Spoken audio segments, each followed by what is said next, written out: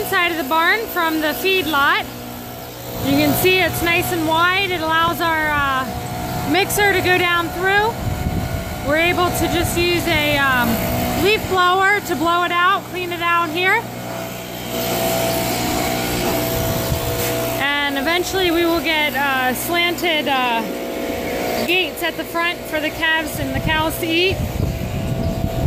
Up at this side, we have uh, our lock gates here.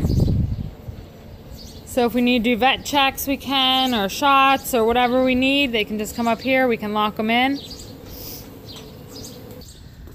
We also have uh, three pens. You can see we have one, and then down here is two, and down at the end is three. Each of the pens have um, gates that come across with a quick connect to divide them. Like this right here. Um, and that gate will swing back and there's a quick quick connect right there um, that we can pen the calves and the cows back if we need to um, for easy switching. There's also a gate like this at the back of each pen um, that we can switch if we need to. We can bring the whole herd that's in one pen forward to the feed lot and then um, move another herd back into the next pen and we can switch pens that way. Um, we also have frost-free waters. Um, we made sure when we built the, the barn that the pipes were buried and um, that we didn't have to worry about pipes freezing in the barn. So we have our frost-free waters. Um, and then we have a gate back in the back that um, they can uh, we can run them over to the pasture if we need to. It goes straight over to the gate in the pasture. I don't know if you can see that from here. I can go around, but you can see there's the gate in the front and the gate over in the pasture, and that runs them right over to the pasture. So we can um, get them in and out from the pasture. And I will attach a video um, link in the comments down or in the description down below showing you um, when we were getting them in from our blizzard this past winter um, getting them back into the barn so you can see how that works. So that is a clip of the inside of the barn. So here's a view um, from up high. You can see the three pens. You can see the gates in the back there that go across over here. Um, and then they can run up to the feed lot. We have this uh, pretty high uh, ceiling in here for excess manure storage. We don't have to clean it out right away.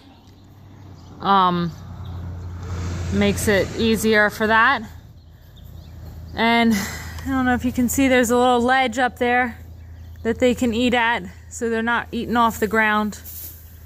Right now we have a big pile of hay in here that they can, we'll use for bedding or they can eat through it. Um, we do have this enclosed on three sides. You can see the far end. Um, there are sliding doors that cover each of the ends. Um, and then each of the sides has uh, curtains that we can put up and down and I'll show you that in detail a little bit later. Um, but the back end here is open where I am. Um, we left this open just because uh, to let the heat out.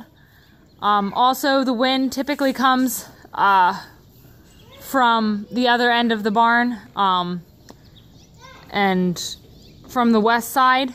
So that's why we put the curtains in and the doors on the other end um, to prevent weather from coming in and from if we need to shut it down for the wind because it does get rather windy here.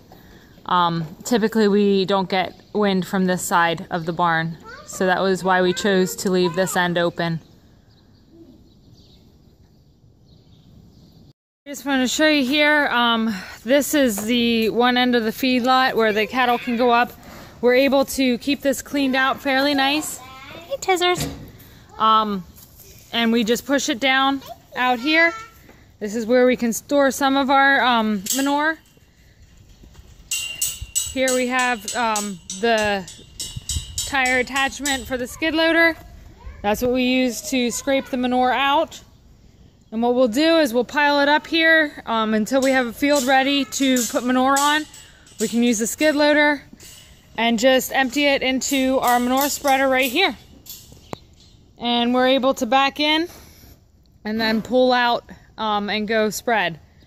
So this is a nice setup here that we're able to um, store our manure if it gets too full in the pens. All right, so these are our curtains. This is how we um, put the curtains up and down. Just get a drill, um, put it in, it's like a TPO shaft. And just kind of let them go down. We like to do this every once in a while, um, just to kind of dry the curtains out. Uh, make sure they don't get molded or that there's no mice in. These types of curtains, you want to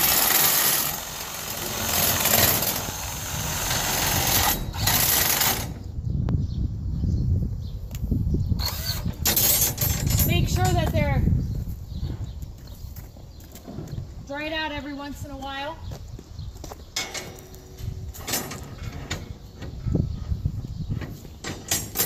So there are two sets of curtains. We're going to put both of them down.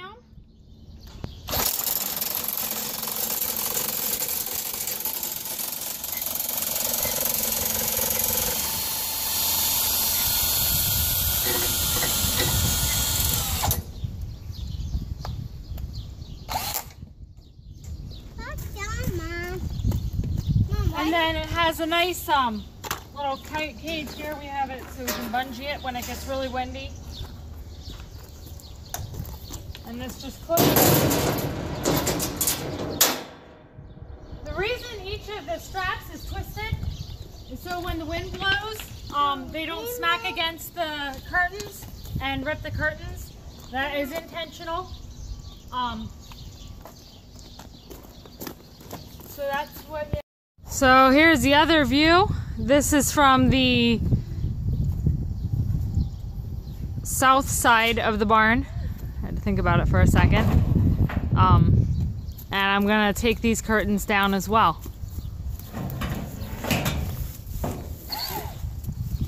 So here's what the barn looks all closed up. Um, and when we did open the top curtain or shut the top curtain, there was a bunch of dirt that fell out. The mice will run right along that um, roll. Um, and so we want to make sure that they're not up there eating the curtains or anything. So that's why we do that every once in a while.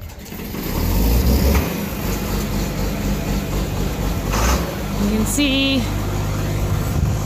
the curtains closed on either side. Um, this is looking from the south side yet down um, towards the open um, end of the barn.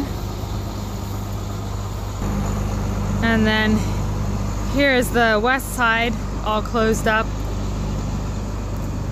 You can see, and just looking across, everything closed up. Now there is um, the doors here. These also close. We have latches on them. Watch out.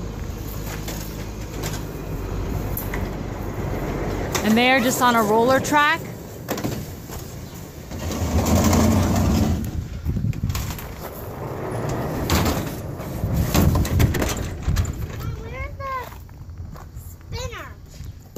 So when you're getting a really um, strong storm coming through, just close everything up.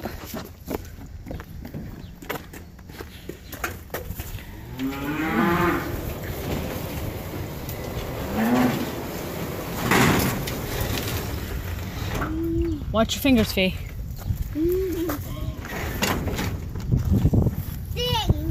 So there you have it.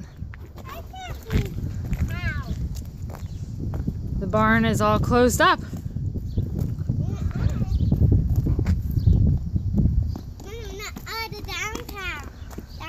As much as we can.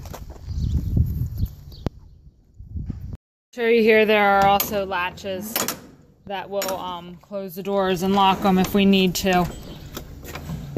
Um, yeah, get that in there, and then this just kind of locks down and it locks it in place. And there's one over on that side too that you can get to. This has a quick connect latch here that you can just open up to get in there if you would need to. So, just a shot there from the inside of the barn. So I just wanted to give you a big shot here of the barn. Uh, I hope you enjoyed this video. And you can see over here um, is where the cattle can come out and um, and go over to the pasture. Over here right now we have it planted in corn. So we will uh, combine this corn, leave the fodder out here, and let the cattle out to graze on the fodder.